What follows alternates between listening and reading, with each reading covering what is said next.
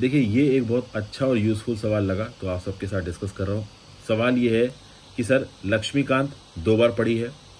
और दो बार पढ़ने के बाद प्रीलिम्स के क्वेश्चन सॉल्व हो रहे हैं बट मेंस का क्वेश्चन सॉल्व नहीं हो रहा है। तो मेंस के लिए मुझे लक्ष्मीकांत की किताब कितनी मदद कर सकी, कर सकती है? और आंसर राइटिंग कब स्टार्ट करनी चाहिए?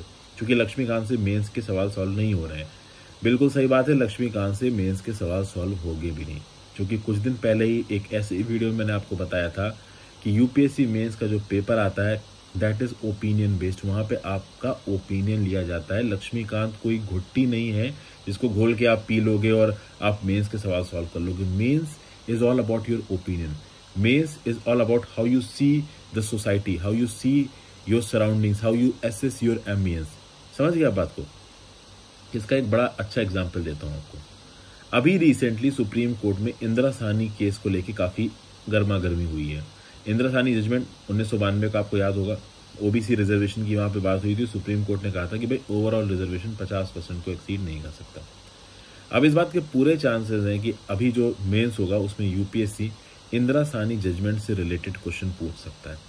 तो अगर इंदिरा सानी जजमेंट से रिलेटेड क्वेश्चन अगर आपसे यूपीएससी मेंस में पूछता है तो उस रिस्पेक्ट में आप अपने आंसर्स को एनरिच करने के लिए क्या कर सकते हो? ये रिजर्वेशन की बात कर रहा है। हमारे संविधान का ऐसा कौन सा आर्टिकल है जो रिजर्वेशन से डील करता है? आर्टिकल पंद्रह क्लॉज चार। तो अगर आर्टिकल पंद्रह क्लॉज चार का रेफरेंस देके आप अपने आंसर का कंक्लूजन या फिर आप कह सकते हो इंट्रोडक्शन लिखते हो तो कहीं ना कहीं एग्जामिनर के माइंड पे एक अच्छा इफ़ेक्ट पड़ेगा। मतलब लक्ष्मीकांत आपको उससे रिलेटेड स्टैटिक कंसेप्ट बता रही है।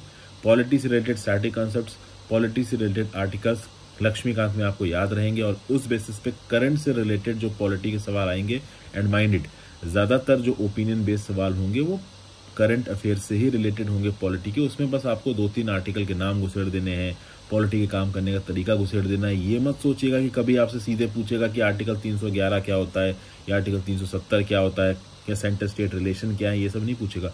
वो आपसे ओपिनियन पूछेगा कि क्या ये चीज़ ऐसे हुई है तो ये सही है, या ये गलत है, इसको क्रिटिकली एनालाइज करिए एग्जामिन करिए एसेस करिए।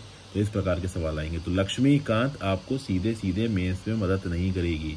लक्ष्मीकांत के इनपुट्स को आप अपने आंसर्स में इस्तेमाल करके अपने नंबर चार पाँच नंबर बढ़वा सकते हो। मेंस में नंबर आपको ओपिनियन देने के ही मिलेंगे, इसलिए अपने ओपिनियन को एनहांस करिए और इसलिए मैं बोलता हूँ ओपिनियन एनहांस करने के लिए द हिंदू का एडिटोरियल बहुत ध्यान से देखिए। Thank you for watching